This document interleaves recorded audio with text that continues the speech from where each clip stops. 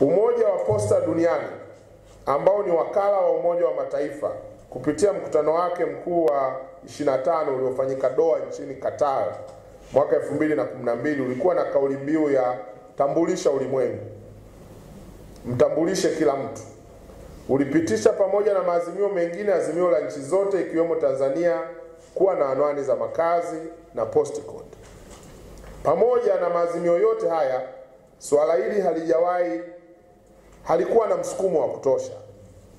Sasa jambo hili la anwani ya makazi ni jambo la kitaifa, ambapo viongozi wetu wakuu wakiongozwa na Mheshimiwa Rais Samia wametoa fedha kuhakikisha mradi huu unakamilika na maelekezo kwamba mradi huu ukamilike mwezi Mei mwaka huu ili turahisishe. Ulikuwa ufanyike kwa miaka mitano, lakini maelekezo ni kwamba ufanyike ndani ya miezi kadhaa mpaka kufikia Mei tuwe tumekamilisha.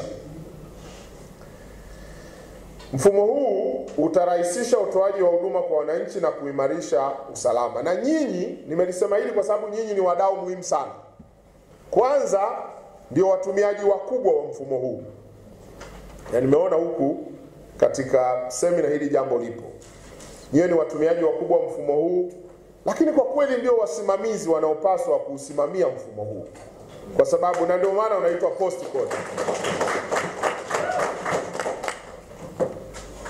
Kwenye utekelezaji kuna kama dalili hivi kwamba aidha mmekaa wenyewe pembeni au mnawekwa pembeni.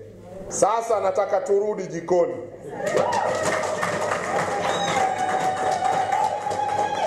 Na hapa nimwombe katibu mkuu, hebu nenda kalisimamie hili jambo, tuhakikishe mameneja wote kwenye mikoa na maeneo yote kwanza wawe wajumbe halali na wakudumu kwenye vile vikao vinavyosimamia jambo hili,